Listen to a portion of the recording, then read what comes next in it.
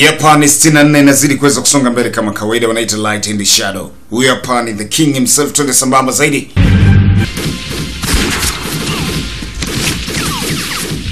Maji mjia anapigwa risasi ya ngoa, anashuhudia kapiga mahesabu, yuko na ile remote ya mabomu. Angoa anahitaji kurudi Yamaki kamstopisha na risasi. Mzee alikoswa ziangu, mwana haramu, njoo hapa. Maji mje kaona hapana, haiwezekani. Kimoyomoyo anazungumza, tutakuwa ndugu kwenye maisha yanaweza kufata, ndio maneno yake. Akavuta remote control, pigwa chuma, anakuja pigwa mingi, anakuja ni bora aweze kufa nao Wajapani wote.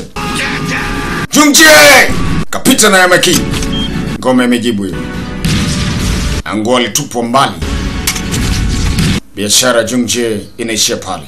Jambo lilimuumiza sana, lakini mwamba anakufa kiume kwa ajili ya taifa lake. Tuona kazi ipo.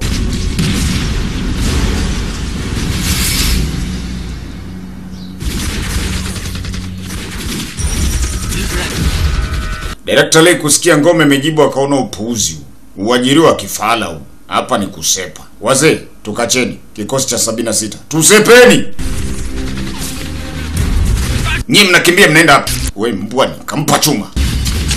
Tupwa kombora. Bomba inashuka hiyo. Direkta li alikutana nayo biashara ikaishia pale. Uwe twendeni.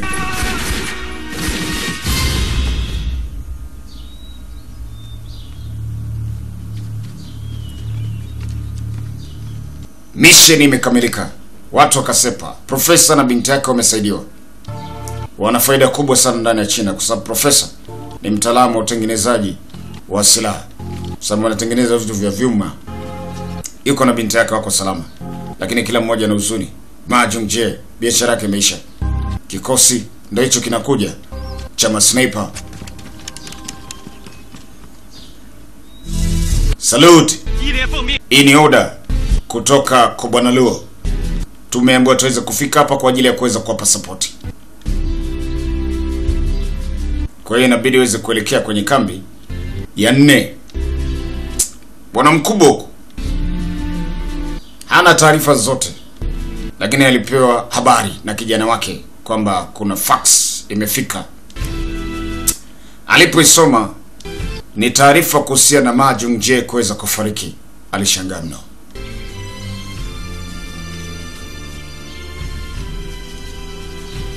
Ni mwanajeshi tegemezi, hatari na mwenye uwezo mkubwa. Nitatoa ripoti kwa mwenyekiti. Shujaa kama huyu inabidi aweze kuzikwa tena kwa kuweza kupatiwa medali zake pia zote. Wewe unaweza ukaenda. Ili jambo lilimuumiza sana mkuu wa KMT, jeshi la taifa, kumpoteza kijana bora kama huyu hapa Ma.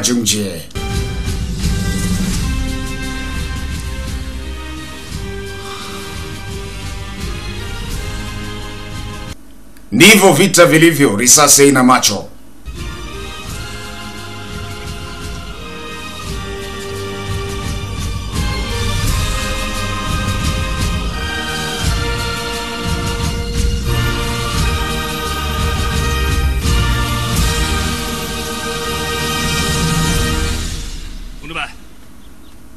Naona vijana wote mmerudi eh? Ongereni bwana. Kikosi cha Lightning Shadow kimekamilisha kazi yake. Hongereni sana, kazi nzuri.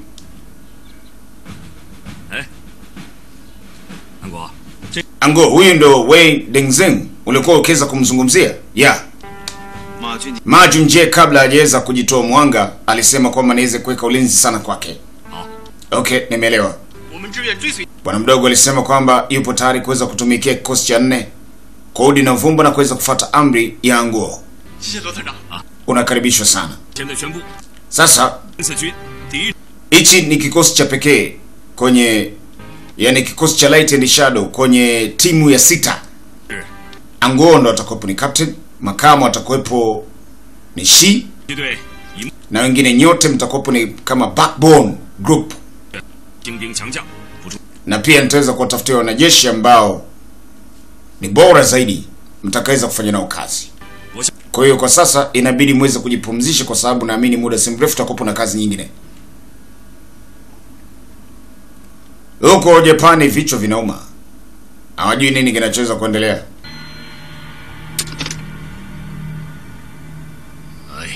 Halo eh, mkuu. Okamura alipiga simu.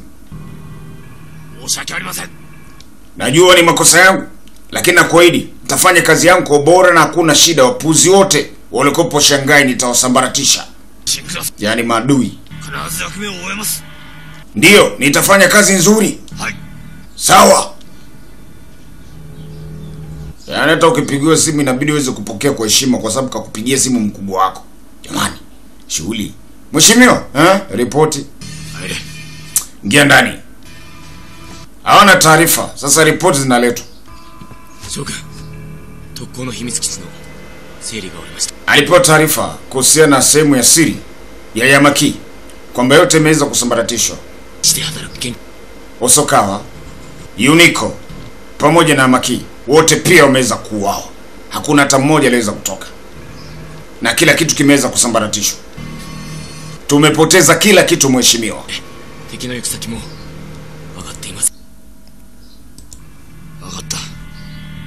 Nimekuelewa. Okamura kanipigia simu muda si mrefu. Na amenipa maelezo kwamba profesa ambaye ameweza kusaidiwa na hao waasi anafahamu mambo mengi sana kuhusiana na swala la weapon researching.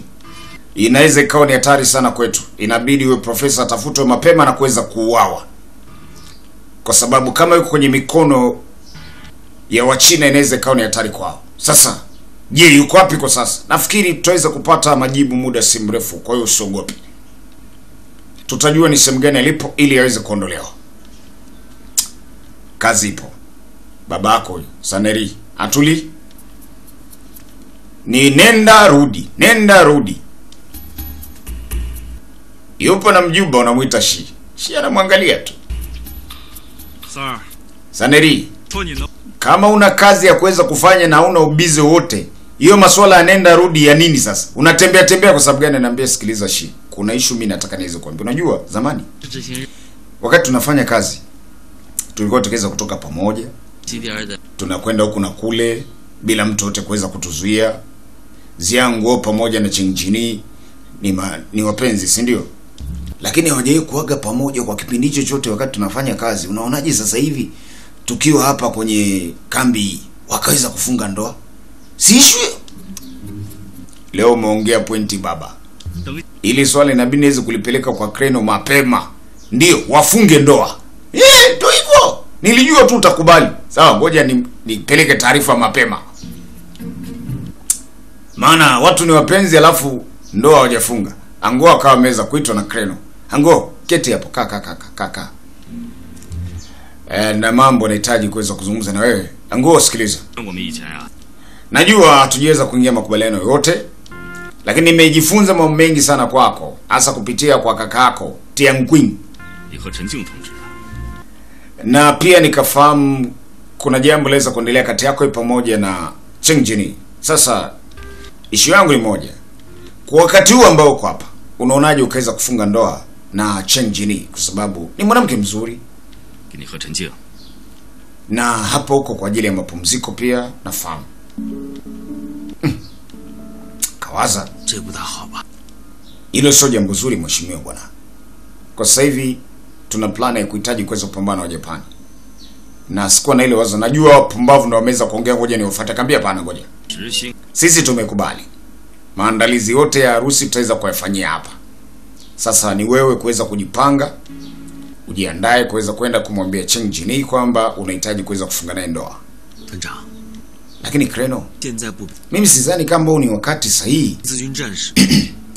Na si ni wapya kwenye kikosi cha nne, inakuwaje tuweze kufunga ndoa kwa sasa?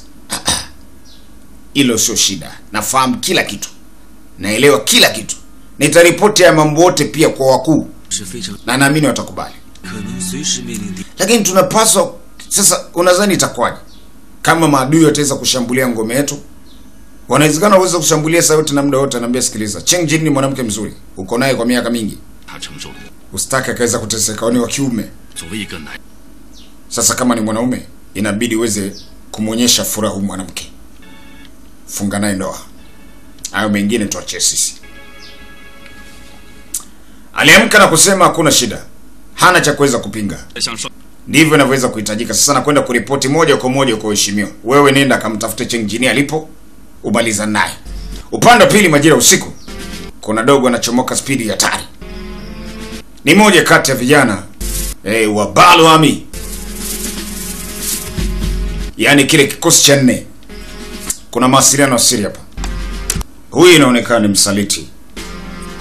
Alikuwa akiweza kuvujisha siri. Kupeleka kwa Wajapani naona shughuli. Kupitia telegram. Hizi ni telegram za zamani. Sio za sasa hivi. Mnatumia kwenye smartphone. Mnajiona wajanja. Ndo telegram hizi za kipindi hicho. Taarifa ikafika. Toa maelezo haraka iwezekanavyo tuweze kujua Profesa Zeng ni lini ataweza kuondoka kwenye hiyo camp, kwa sababu ameweza kupata taarifa kwamba profesa ana yani, walipata taarifa kwanza kwamba profesa yupo kwenye kempu ya jeshi la nne. Sasa inasemekana kwamba anahitajika kuweza kuondoka. Sasa siku anaondoka na wanahitaji kuweza kumbana, wamwondoe